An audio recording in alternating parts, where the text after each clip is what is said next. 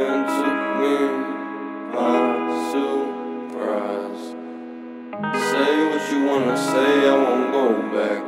If you wanna hit the road, then let's go then. Let's just go and see the world and just show them what it really means to live life golden.